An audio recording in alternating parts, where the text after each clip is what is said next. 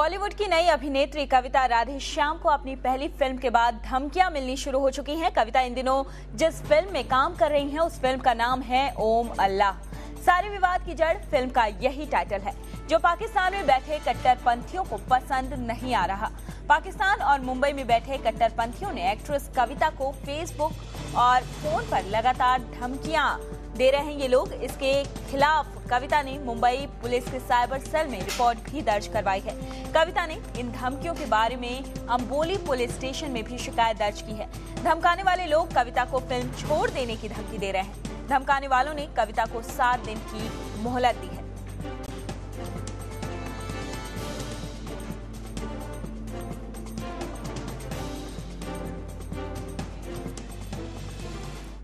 और इस वक्त हमारे साथ खुद मौजूद हैं फ़िल्म ओम अल्लाह की एक्ट्रेस कविता राधे श्याम इन्हीं से हम जानेंगे कि आखिरकार क्या है ये पूरा मामला और इन्हें क्या धमकियाँ मिल रही हैं।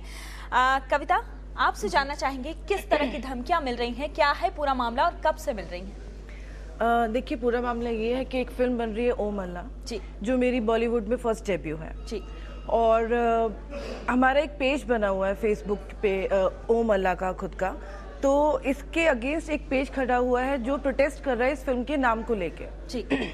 जो पाकिस्तान से ऑपरेट हो रहा है इस वक्त। और वो लोग उसमें से ये बोल रहे हैं कि अल्लाह के साथ ओम का नाम क्यों जोड़ा हुआ है? जी। इस फ़िल्म को बैन कर दिया जाए। ये लोग तो काफिर हैं। जो। इंडिया में रहते हैं हम लोगों को परेशान करने के अलावा हम लोग को तंग तंग करने के अलावा इन लोगों को कुछ भी नहीं आता है। इस पे जब मैंने विज़िट किया इस पेज पे तो मैंने उन पे प्रोटेस्ट किया। मैंने उनको ये बोला कि देखिए पहले आप फ़िल्म देख लीजिए। फ़िल्म पूरी बनी नहीं है रिलीज़ भी नहीं हुई है तो आप सिर्फ़ नाम के ऊपर तो जजमेंट नहीं दे सकते हैं कि अल्लाह के साथ ओम क्यों जोड़ा गया है। और मैंने इतना भी बोला मैंने कहा देखिए अल्लाह और ओम एक ही भगवान है सिर्फ़ नाम अलग अलग है। तो आप ये नहीं बोल सकते कि अल्लाह के साथ ओम क्यों जोड़ा गया इससे तो हमारे आ, हमारे रिलीजन की इंसल्ट हो रही है। ना कि हम लोग आपके रिलीजन की इंसल्ट कर रहे हैं। तो इस पे मैंने ये बोला कि अगर ओम अल्लाह ना रखे क्योंकि ये फ़िल्म हमारी हिंदू हिंदू और मुस्लिम के पीस के लिए बात कर रही है ना कि उनको तोड़ने की जोड़ने की बात हो रही है। तो इससे तो आप हमारे ही रिलीजन को इंसल्ट कर रहे हैं कि अल्लाह के साथ किसी और का नाम जोड़ ही नहीं सकते। तो मैंने ये बोला कि अगर हम ओम अल्लाह ना रखे तो क्या फ़िल्म का नाम ओसामा रख दें? तो इस पर वो लोग भड़क गए। उन्होंने ये बोला कि मुझे एक मैसेज आया मेरे ही फेसबुक पर कि मोहतरमा आप आधे घंटे के बाद अपना मेल चेक कर लीजिए। जब मैंने मेल चेक किया तो उस मेल के अंदर मुझे तीन डिमांड्स दी गई और मुझे ये बोला गया कि देखिए इस फ़िल्म से अपना हाथ पीछे कर लीजिए इस फ़िल्म से निकल जाइए। फेसबुक का आपका जो पेज है उसको डिलीट कर दीजिए। और तीसरा इसी प्रोटेस्ट पेज पे आके हम सब मुसलमान भाइयों से माफ़ी मांगे। जी। तो सर मैं तो माफ़ी मांगने से रही माफ़ी क्यों मांगू? क्योंकि मैं मैंने जो भी लिखा है मैंने जो भी बोला है मैं उस पर बिल्कुल भी रिग्रेट नहीं करती हूँ। माफ़ी उल्टा उन लोगों को मुझसे मांगनी चाहिए इस वक्त क्योंकि उन लोगों ने हमारी इंसल्ट किया यहाँ पे।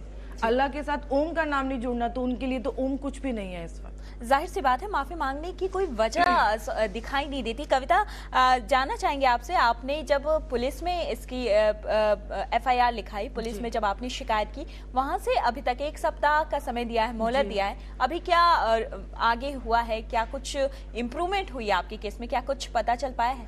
देखिए नाइन जन से मेरे को ये कॉल्स आने स्टार्ट हुए मुझे ये मेल्स आने स्टार्ट हुए क्योंकि आ, मुझे एक मेल ये भी आया था जिसके अंदर मेरे मेरा एड्रेस दिया गया था मेरा फ़ोन नंबर तक दिया गया था। जी। और मैं गई थी साइबर क्राइम क्रॉफर्ड मार्केट में वहाँ मिस्टर परब से मैं मिली। उनको मैंने सारी सिचुएशन बताई कि देखिए मेरे साथ फ़िलहाल ऐसा ऐसा हो रहा है। और उन्होंने ये बोला कि देखिए ये फेसबुक अकाउंट जो है आपका या जी मेल में जो आपको मैसेज आया है ये सारा अमेरिका से ऑपरेट होता है। तो इसके लिए अभी पूरा अमेरिका से पूरा प्रोसीजर होगा फिर पता लगेगा आईपी एड्रेस निकालेंगे। उन्होंने मुझे ये बोला। मैंने कहा ठीक है आप इन्वेस्टिगेट करें दैट्स अ गुड थिंग लेकिन इस वक्त जो मुझे थ्रेटनिंग कॉल्स आ रहे हैं उसका क्या? जी। क्योंकि उनके पास मेरा एड्रेस जा चुका है उनके पास मेरा फ़ोन नंबर है मुझे थ्रेटनिंग कॉल्स तक आते रहते हैं। इनफैक्ट मुझे कॉल्स ये भी आ रहे हैं कि अरे आप तो हीरोइन बन रही हैं आप तो मीडिया में जाने लग गई हैं। हमने तो आपको जो डिमांड्स दी हैं आप उसको सात दिन के अंदर अंदर पूरा कीजिए अपना फेसबुक अकाउंट डिलीट कीजिए हमसे माफ़ी मांगिए अदरवाइज़ हम आपको डिलीट कर देंगे। ये तक किया गया मेरे साथ। मैं अम्बोली पुलिस स्टेशन गई वहाँ मिस्टर सुजीत कुमार से मैं मिली। तो मुझे ऐसा लगा कि मैं ऐसा जोकर गई हूँ वहाँ पे क्योंकि वो लोग मेरी बात सुन के हंस रहे थे। और उल्टा मुझे ये बोल रहे थे कि अरे आपको तो ये सारे कमेंट्स डिलीट कर देने चाहिए। मुझे फोर्स कर रहे थे कि मैं अपने सारे कमेंट्स डिलीट कर दूँ प्रोटेस्ट पेज में से। और वो मेरा बैठ के मज़ाक बना रहे थे मुझे इतना बोल रहे थे कि आप ही के ऊपर केस हो जाएगा आप ही को थाने के अंदर डालना पड़ेगा हमें। जी बेहद शर्मनाक रवैया पुलिस पुलिस की तरफ़ से तो हम आ, बाहरी लोगों को क्या कह सकते हैं जहाँ से आपको धमकियाँ मिल रही है इस पूरी बातचीत के लिए कविता आपका बहुत बहुत शुक्रिया।